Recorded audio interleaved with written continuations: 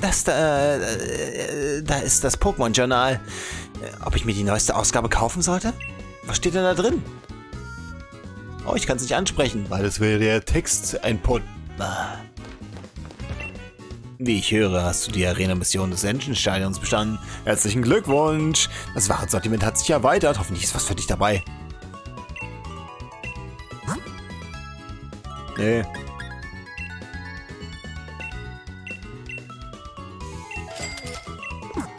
Kann nicht schaden, mal 10 Tränke zu holen. Hier darf man wirklich keinen Moment lang unachtsam sein, sonst tritt man in die Hinterlassenschaften eines Dusselgur. Habt ihr keine Hausmeister oder irgendwer anders, der das hier aufräumt? Könnt ihr doch einfach das Dusselgur töten. Soll ich das übernehmen? Sari macht das bestimmt gerne. Ich meine, klar, uhu, Vogel-Pokémon, die arme Pflanze, aber ich bin mir sicher, es wird dieses Dusselgur vernichten. Verstarrst du mich so an? Verpiss dich aus diesem Bahnhof! Du bist hier nicht erwünscht. Hoffentlich kommt meine Freundin bald mal. Dieses Dusselgur starrt mein Essen schon gierig an. Du bist das Problem. Hör auf mich zuzustimmen, ich mag dich nicht. Du bist ein dummer Vogel. Und ich mag Vögel, von daher... Dich nicht, du bist eine blöde Taube, verpiss dich. Aber Taube... Klar soweit, ja. Am Bahnhof ist immer was los. Hier kommen so viele Leute durch, da ist kein Tag wie der andere. Ja, mach mal eine Bombenwarnung, ist bestimmt lustig. oh Gott, ey, Pokémon äh, und Bombenwarnung. Stell dir mal vor, du hast irgendwie einfach mal so einen Typen, der kommt mit seinem Smogmog da an. Ne? Einfach nur ein Typ mit einem Smogmog. Da ist doch gleich Bombenwarnung in dem Bahnhof. Ist mit Smogmog-Reisen verboten. Wie ist denn das bei Flugzeugen in der Pokémon-Welt? Darfst du denn nur bestimmte Pokémon im Handgepäck mit dir führen? Oder? Alter, ey. Die. Das sind alles so Sachen, die könnte man mal exploren. Aber nein, hier du einen Bahnhof. Hier hast du eine, die sagt, oh, das Pokémon-Journal ist voll toll. Scheiß drauf. Worldbuilding braucht keiner. Heute schmeckt unser Essen noch viel besser als gestern. Versprochen. Warum? Wer hat heute reingepinkelt? Ich. ich lebe, um zu essen. Ich werde nicht ruhen, bis alle Restaurants in sämtlichen Bahnhöfen Galas ausprobiert habe. Ja, so sieht's doch aus. Hm.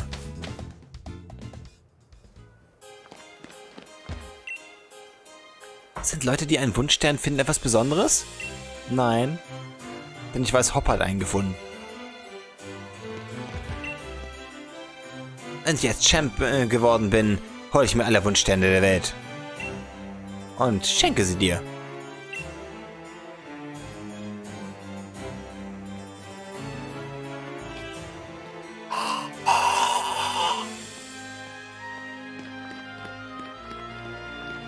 Ich bin gerade richtig gut drauf. Ich, hätte, ich habe gerade voll Bock, den einfach zu verprügeln, den Typen da mit seiner Scheißtröte, seinem verfickten kleinen Stinktier. Was ist ein Dachs? Es ist ein Stinktier. Es ist ein... Ja, die Fresse. Ah. Ist dein Kanal ausschließlich für Kinder geeignet? Offenkundig nicht. Ah, du Witz. Score City ist ein beliebtes Reiseziel für Leute aus der ganzen Welt. Kein Wunder, wenn du mich fragst. Die Stadt ist wirklich groß Artig. Weil groß ist sie nicht. Es kann nicht sein, dass die erste Stadt in Dragon Quest größer ist als dieses scheiß K4. Du siehst das damals so auf den Promotion-Bänden und denkst, das ist ja eine geile Stadt, ey, das will ich sehen. Galar wird so geil. Kommst du hier an eine Straße, über diese Kackkulissen und ey, es ist die größte Enttäuschung, seit es Kinderschokolade gibt. Jedes Kind weiß, dass Schätze immer von einem Drachen bewacht werden. Deshalb passt es ja so gut, dass Roy der Wächter der Schatzkammer ist. Wow, ich würde jetzt dir unterstellen, dass du Dad-Jokes machst, aber du bist eine Mom, wenn überhaupt. Du bist wahnsinnig gut, ich weiß. Zuckererdbeger. Oh, oh, oh, oh, oh. Lass mal ein Cream Pie umbauen. Nein, die heißen ja anders, habe ich festgestellt. Ich habe mir nur, nur ein YouTube-Video angesehen, wo jemand all seine all Creamy Scream Pie genannt hat und dachte deswegen, dass das Pokémon in der englischen Sprache so heißt. Ah. Ich habe gehört, dass die Pokémon in der Naturzone allerlei Zeug in ihren Nestern horten. Es soll sogar Pokémon geben, die TP sammeln. Abkürzungen sind so fash. Weißt du, du was? In Galas sind überall noch viele alte Gebäude von ganz früher übrig. Ja, weil sie im Krieg nicht zerbombt wurden. Dies ist eine Pokéball-Statue. Nein, Captain Obvious, wirklich? Gerüchten zufolge kann man Pokémon leichter fangen, wenn man sie berührt. Wo ist die Option zum Berühren? Weißt in alten Spielen wäre das dann wirklich ein Monument gewesen, wo du anfassen kannst und dann du spürst eine seltensame Aura und dann hast du auf einmal doppelte Fall Fangchancen für 24 Stunden oder so ein Scheiß. Ist das so schwer, sowas in so ein Spiel einzubauen? Eine kleine Ritualstelle mit irgendwas, irgendwas? Irgendwas? Lass mich doch zumindest hier reingehen. Sieht interessant aus. Nein, die Tür hat keinen Knauf, da komme ich nicht rein. Lass mich hier über die Mauer springen. Geht auch nicht. Weil darum... Guck mal, hier ist abgesperrt. Komme ich da später ran? Spoiler? Nein, komme ich nicht. Weil warum sollte ich durch diese scheiß Stadt laufen wollen? Es ist hier nur ein großes Schloss. Warum sollte ich hier lang laufen wollen? Guck mal hier, ein Ball. Wow, meine Exploration wurde... Oh, eine Schlaubrille. Ja, ich weiß, passt jetzt gerade super bei Schlauber. Oh, noch ein Haus, in das ich rein will. Ich komme nicht in das Haus. Guck mal, hier noch ein Haus, in das ich rein will. Ich komme nicht in das... Hm. Du siehst mir vertrauenswürdig aus. Weißt du, es gibt da jemanden, den ich mag. Und ich habe ihm einen Brief geschrieben. Würdest du ihn für mich überbringen? Aber sicher doch. Das freut mich. Vielen, vielen Dank. Ich heiße übrigens Paulina. Vertraue ich dir mal meinen Brief an? Ja? Du erhältst einen vergilbten Brief. Du verstaust das Item in der Preises-Item-Tasche. Vergilbter Brief. Diesen Brief hast du von einem Mädchen erhalten, um ihn einem Jungen zu übergeben. Aus irgendeinem Grund sieht er schon etwas älter und vergilbt aus. Bitte bring ihn zu Frank. In Fairbelly. Aber sicher, kriegen wir hin. Ich verlasse mich auf dich. Bitte bring meinen Brief zu Frank. In Fairbelly. Der heißt Frank. Halt, na, na. Ist du ruhig? Er ist Frank. Das ist eine englische äh, Dings hier. Deswegen heißt er jetzt Frank. Oh, du hast Martin auch Martin und nicht Martin genannt. Ah ja, richtig. Die Häuser hier, ich das ist, hier sind so viele Kulissen, ich vergesse fast, dass es hier auch Häuser gibt, in die man reingehen kann. So. Umweltschutz fördernd. Warum sitzt du denn so deprimiert hier? Ich muss schon sagen, dieser Mann im Pokémon Center ist echt beeindruckend. Er kann Pokémon nicht nur Attacken vergessen lassen, sondern auch bewirken, dass sie sich an vergessene Attacken wieder erinnern. Wow. Und den gibt es in jeder Stadt. Sie haben ihn geklont. Ja, Mew war nur der Anfang. Als nächstes waren Officer Rockies und äh, Dings. Schwester Joyce dran. Und jetzt auch der Namensbewerter. Der ist eine Kreuzung aus Namensbewerter, Attacken, Erlerner, Vergesser und so weiter. Und der ein Klon ist, will er kein Geld haben. Sei gegrüßt, junge Dame. Darf ich dir etwas über das Wetter erzählen? Nein. Oh, nun, äh, gut. Kann ich die Kamine anmachen? Ne, warum? Ist ja auch so ganz praktisch noch was vorgestellt, aber ich komme trotzdem hin und nein. Sei gegrüßt, junge Dame. Darf ich dir etwas über das Wetter erzählen? Ah, das nehme ich mal als Ja. Wundervoll. Dann fange ich so gleich an. Wenn es während eines Kampfes äh, das Sonnenlicht stark ist, ähm, dann werden Attacken vom Typ Feuer stärker, Wasserattacken dagegen schwächer. Ach wirklich, die werden auch schwächer? Gut zu wissen. Pokémon können nicht eingefroren werden und bereits gefrorene Pokémon tauen auf. Attacken wie Solarstrahl, die sich des Sonnenlichts bedienen, können in einer Runde eingesetzt werden. Die Wirkung mancher Attacken wird verstärkt, zum Beispiel Synthese und Wachstum, und die Genauigkeit von Attacken wie Donner und Orkan sinkt. Bitte nimm dies als Dank dafür, dass du mir so geduldig zugehört hast. Jetzt ein Heißbrocken. Okay, was kriege ich als Dank dafür, dass ich das so geduldig vorgelesen habe? Nichts. Verlängert die Dauer von Sonntag. Kann ich darauf verzichten? Ich habe ein Memion. Oh mein Gott, sie ist Micro verrückt. Na du? Ja, ja, ich, ich hab's ge gecheckt. Mai, mai, mai, Mikro. Ich lebe mit Micro zusammen und trainiere sie, weil ich sie einfach toll finde. Wir haben aber nichts mit den Flugtaxis am Hut. Mai, mai. Ja, die sind doch äh, böse Sklaventreiber, die Flugtaxis. Hm? Wir nutzen sie regelmäßig, egal. Alt, was ist dies? Jemand hat den Angriffsplus verloren, egal. Hey, guck mal, hier ist das kleine dumme Mädchen von oben schon wieder. Ich bin zu klein, um allein durch die Naturzone laufen zu dürfen. Deshalb fahre ich mit dem Zug. Ob ich schon alleine Zug fahren darf? Na klaro, ich bin doch schon groß. Was? Ja, du bist so groß, dass du vergilbte Briefe abgibst. Egal. Dass die alle gleich aussehen. Noch nicht mal dem Mädchen da oben, das eine Quest hat, konnten die ein anderes Aussehen geben. Das ist... Hm.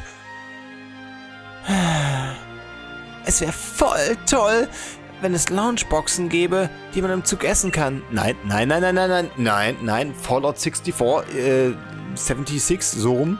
Wisst ihr noch? Fallout hat Lunchboxen eingeführt und also, oh mein Gott, Pay to Win. Fuck Lunchboxen.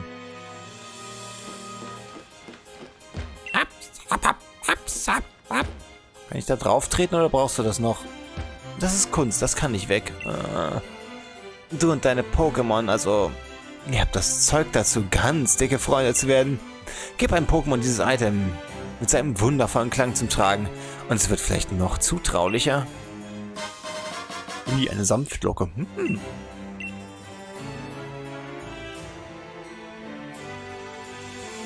Naja. Ich kann aber auf meine Pokémon aufpassen, ich brauche so einen Blödsinn nicht. Na, willst du wissen, ob deine Pokémon auch wirklich alles geben? Oh ja, mach mal. Ähm... Wen haben wir schon die Länge länger dabei? Chili, ne? Uh, fuck, da fällt mir was ein. Ups. Ups, die Hälfte unserer Pokémon ist gar nicht da. Dieses Pokémon, das kannst du da bisschen mehr anstrengen. Dann halt nicht. Halt, da war noch jemand ohne Fahrschein.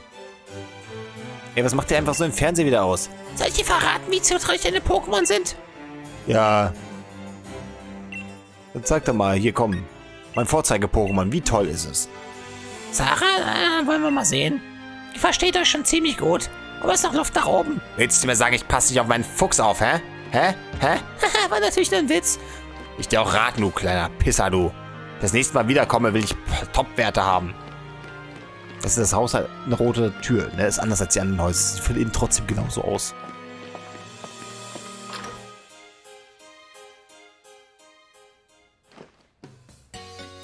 Die Tänzer in diesem Spiel sind eigenartig. Ich weiß, das klingt jetzt seltsam, aber Roy sah noch nie besser aus als in dem Moment, als er, in dem er gegen Delion verloren hat. Diese Frustration, all diese Energie in seinem Gesicht. Aha. Um es mit den Worten eines Mannes zu sagen, du bist voll süß, wenn du wütend bist. ah. Ich liebe die Zahl 241. Warum? Weil das Roys Trikotnummer ist. Bei Schließfächern und so versuche ich auch immer die Nummer 241 zu ergattern. Ja, pass auf, dass es nicht zufällig irgendwie im Geheimen noch irgendeine Kiffernummer ist. Passiert öfter, als man denkt. Wusstest du, dass die Reihenfolge für die Arena-Challenge von der Stärke der Arena-Leiter abhängt? Nein, aber ich wusste auch nicht, dass du... Wieso hast du blaue Augen? Weil darum.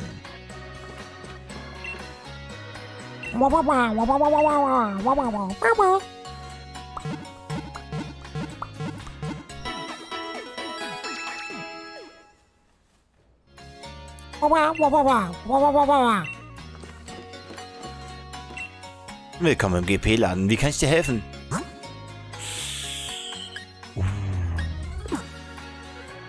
Nicht so sehr. Ich bin wach, ich bin wach, ich schlafe nicht, ich schlafe nicht, ich schlafe nicht, ich schlafe nicht. Uhuhu, bist du auch mal wieder da, ja? Moment, wir machen mal kurz Erziehung. Möchtest du dein Glück versuchen? Ja, komm, jetzt mach. Shit. Ist klar. Los, mal so, mal gucken, ob wir was übereinstimmen. Hm, nein, leider keine Übereinstimmung. Blablabla. Was mache ich das überhaupt? Egal. Äh, Pokejobs, weil wir müssen die Viecher mal langsam wieder abholen. Glückwunsch, da du einen neuen Orden hast, gibt es jetzt neue Aufträge für dich. Sieh dir die mal an. Ich will gar keine neuen Aufträge, ich will nur meine Pokémon zurückhaben.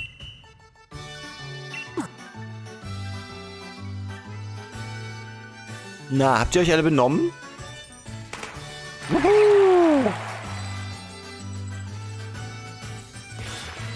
Exzellente Arbeit. Deine Pokémon sind vom Auftraggeber zurückgekehrt. Diese Pokémon haben besonders gut gearbeitet. Alle haben ihren Job toll gemacht und jede Menge Erfahrungspunkte erhalten.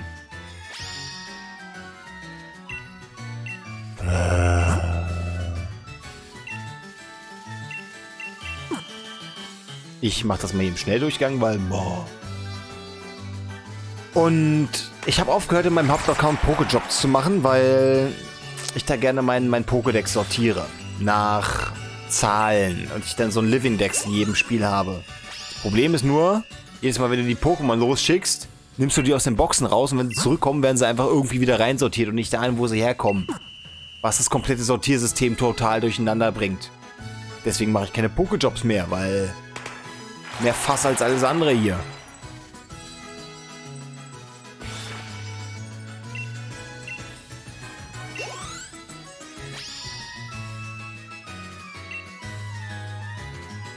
Raffel will mir was geben. Ich will aber nichts von Raffel. Der kann seine 300 Geld behalten. So, mal kurz blöde gefragt. Sind jetzt alle in Box 2 gekommen oder sind die auch wieder in Box 1 gelandet? Na, immerhin sind sie auch wieder in Box 1 gelandet. Immerhin. Münziball. Das andere Mauziehen.